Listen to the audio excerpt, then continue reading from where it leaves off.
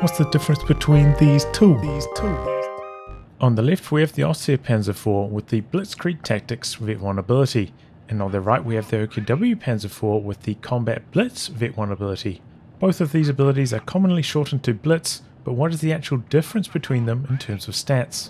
Starting out with the Ostheer Blitzkrieg Tactics, which costs 30 munitions and lasts for 15 seconds. It gives the tank minus 25% to received accuracy, making it harder for the opponent to hit, plus 35% to maximum speed, and plus 60% to acceleration and deceleration. It is also worth noting these bonuses are only active while the vehicle is moving, so you can't activate the ability, then stay still and have the tank be harder to hit.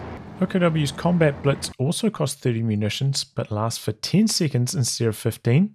It grants the same minus 25% to received accuracy, but plus 40% to max speed instead of 35%, and plus 20% to accuracy instead of any bonuses to acceleration. It also grants mice 25% to reload time, making the tank shoot faster, and this bonus, unlike all the others that we've seen so far, remains active while the tank is stationary. There's also a different version of Blitz for the big boys, the Panthers and the Tigers. Their versions of Blitz have the movement bonuses roughly halved compared to their medium tank counterparts, but the non-movement related bonuses remain the same.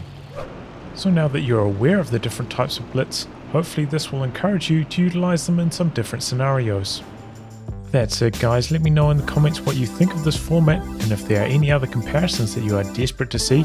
And as always, a big thank you goes out to my Patreon backers, you guys are the real MVPs.